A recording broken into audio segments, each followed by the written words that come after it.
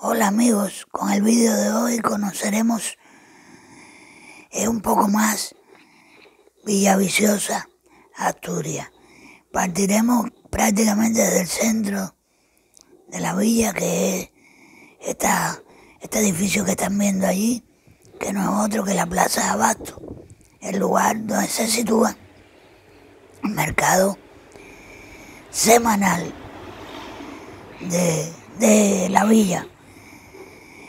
¿Por qué este lugar es la referencia? Pues sencillamente porque un fotógrafo publicó el complejo de la Torre de los Solares y cuando yo le pregunté cómo llegar hasta ellos, él me dijo, está a la salida de la villa, a escasos 300 metros de la plaza del mercado de Abasto.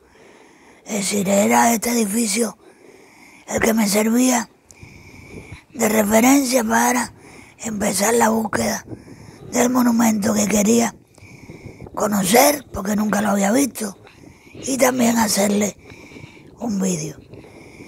Ahí están viendo la plaza, el lugar bien vale hacerle un vídeo a ella sola, pero bueno, eso lo haré un día de, de mercado, un día en que este, este lugar esté funcionando y, se, y esté en actividad que es lo bonito de ellos. Es un lugar que en Gijón hay una parecida, en La Habana hay otra. Parece que era una forma de construir mercados en España. Y si no en España, por lo menos en Asturias. Y como en La Habana hubo muchos asturianos, pues La Habana tiene su plaza de cuatro caminos que es una copia exacta a esta de aquí. Pues seguí caminando hacia arriba, buscando los 300 metros y hacia la salida, buscando esos 300 metros que me habló el fotógrafo, un fotógrafo de Villaviciosa que yo sigo en las redes sociales porque me encantan sus fotos. Y bueno, él y yo ya hemos compartido muchas aventura juntos en búsqueda de lugares. Yo le pregunto y él me contesta y tal. Mira, esa es la parte de atrás de la plaza. Por tanto, aquí ya yo estaba a 200 metros, en esa esquina de la ballera. Según él me había dicho, a mí me faltaban por recorrer apenas 100 metros.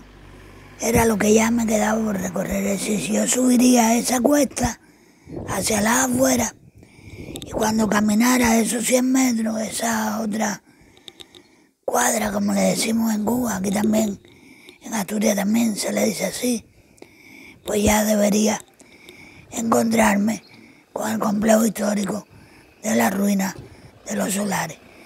Ahí a mano derecha están viendo unas paredes.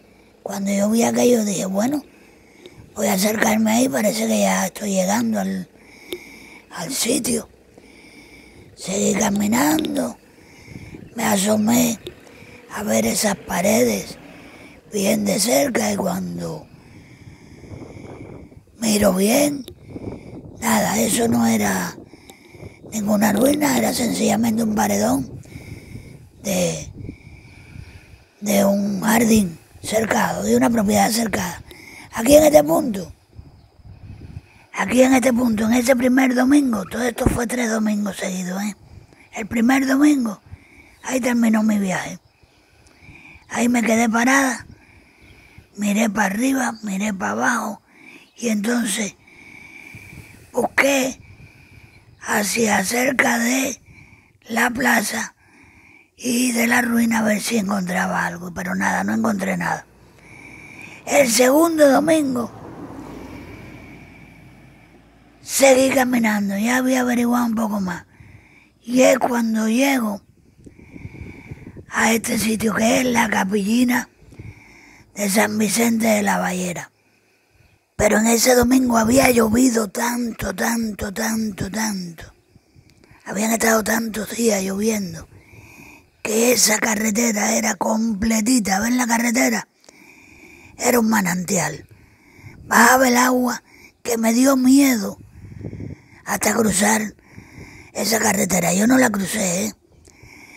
Y por eso, por aquella agua tan grande, fue que ahí me detuve. Y volví a casa y volví a preguntarle a los amigos. Y ya había hecho el vídeo de la capillina de Santiago, ya había estado leyendo la historia de la capillina. Y la capillina ya me aclaró muchas cosas. Los amigos también me dijeron, justo en ese punto, el tercer domingo me encontré al amigo que me dijo, sigue caminando por la carretera que lo vas a ver ya. Efectivamente, ahí lo tienen. Me quedé en la capillina de Santiago, me detuvo el agua, pero ya el tercer domingo subí apenas 20 o 30 metros, que es lo que me quedaba. Según la historia, este lugar está a 400 metros de Villaviciosa, lo cual yo lo corroboro, es una eh, distancia bastante acertada.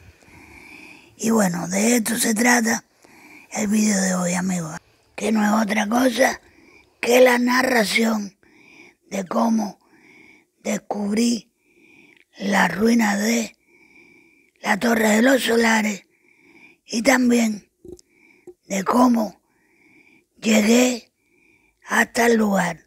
No me fue fácil, no fue recto, pero llegué. Ya el vídeo lo tienen en mi canal, si lo quieren volver a ver, ahí se los sugiero. Hasta luego.